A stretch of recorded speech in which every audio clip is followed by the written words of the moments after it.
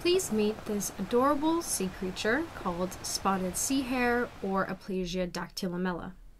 This large sea slug can be found everywhere thanks to its cosmopolitan distribution all over the world, being found in almost all tropical and warm temperate seas, including the Mediterranean Sea. They're really common, and unfortunately, most people don't know exactly what they are. For example, this one was found in front of an expensive resort.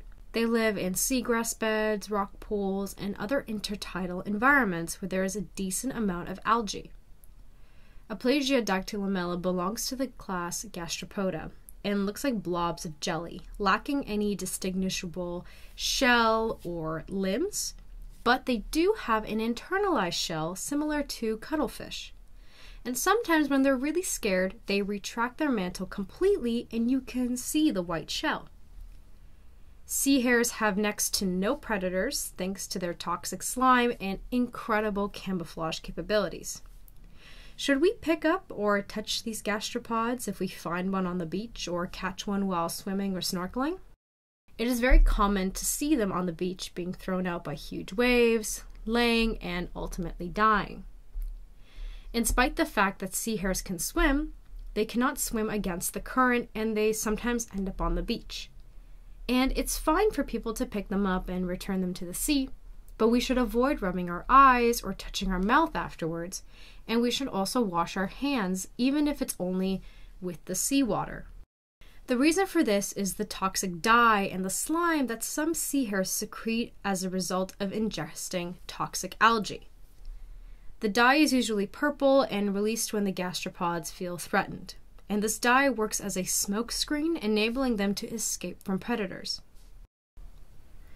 Sea hare dye and slime can accumulate dangerous toxins known as aplysioviolin.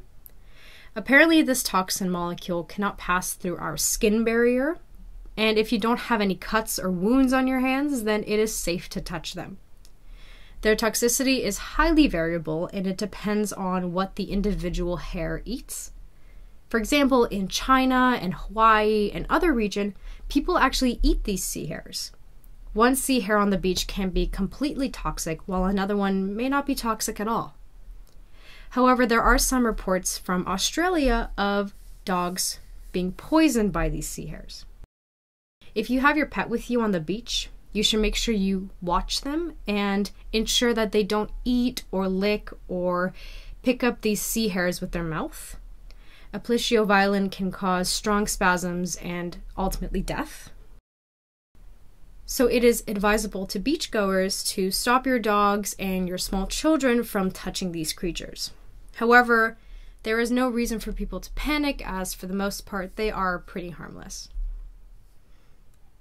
Knowledge gives us courage, so now we're aware. So, what do we do if we find a live sea hare on the beach? We can take the poor creature back into the sea and release it into the calm, not wavy water and make sure to wash your hands. If we see one in the water, swimming or feeding, then you can film it, swim with it, and leave it be. The sea hare plays an important role in maintaining its habitat through the consumption of algae.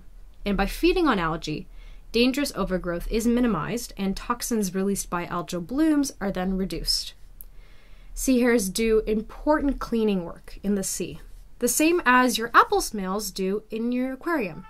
So it's better we keep them.